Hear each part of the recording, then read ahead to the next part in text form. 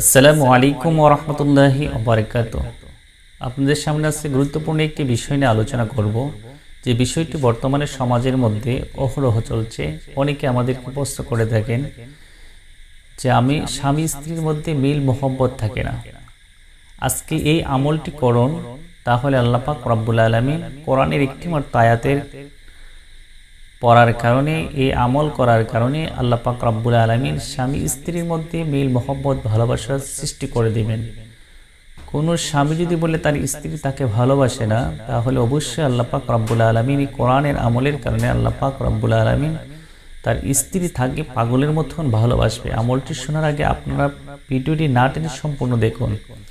এই আমলটি করুন। অবশ্যই আল্লাপাক রব্বুল আলমিন স্বামী স্ত্রীর মধ্যে মিল, মহব্বত এবং এই গড়ের মধ্যে আল্লাপাক রব্বুল আলমিন রহমত নাজিল করবেন। যে গড়ের মধ্যে স্বামী এবং স্ত্রীর মধ্যে মিল, মহব্বত থাকবে না, ভালোবাসা থাকবে না, সেই গড়ের মধ্যে আল্লাপাক রব্বুল আলমিনের রহমত নাজিল হবে না এবং সেই গড়ের মধ্যে মারামারি, ঝগড়া, বিবাদ লেগেই থাকবে। সেজন্য আপনাদেরকে আজকে এমন একটি আমলের কথা বলব। এই আমলটি করলে একটি মাত্র আয়াতের আমল করুন। আল্লাহাক রব্বুল আলমিন আপনার ঘর থেকে সমস্ত অশান্তি দূর করে দিবেন। আপনি যদি এই আমলটি করতে পারেন স্ত্রী সহবাসের পূর্বে যদি সাতবার এই আয়াতটি যদি আপনি পাঠ করেন, শীঘ্রই উপকৃত হবেন। এই আয়াতটি হচ্ছে আপনাদের সামনে আমি অস্তে অস্তে করে বলছি, আপনার আয়াতটি বারবার টেনে শুনে নেবেন। আবারও বলছি ইমরা আতা নোহিন ওয়ামরা আতা লুতিন। কানাতা তাহতা আবদাইন মিন ইবাদিনা সালিহাইন আয়াতটি যদি সাতবার পড়তে পড়েন, তাহলে অবশ্যই আল্লাহ পাক রব্বুল আলমিন আপনার মনের আশা পূর্ণ করবেন এবং আপনার স্ত্রী আপনাকে ফাগুলের মতন ভালোবাসবে।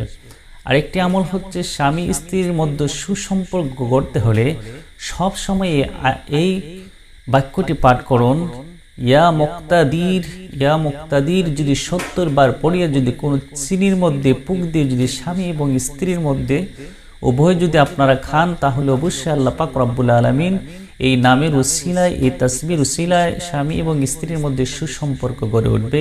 এই ইসিমটি হচ্ছে, ইয়া মুক্তাদির ইয়া মুক্তাদির ইয়া মুক্তাদির সত্তর বার পাঠ করবেন, আল্লাহ পাক রব্বুল আলমিন এই স্বামী স্ত্রীর মধ্যে সুসম্পর্ক গড়ে তুলবেন এবং এই গড়ের মধ্যে রহমত নাজিল হবে।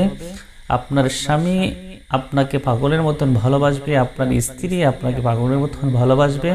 আল্লাহ ফাঁক যেন কোরআনের আমলগুলো করার তৌফিকটুকু দান করে। আসসালামু আলাইকুম ও রহমতুল্লাহ।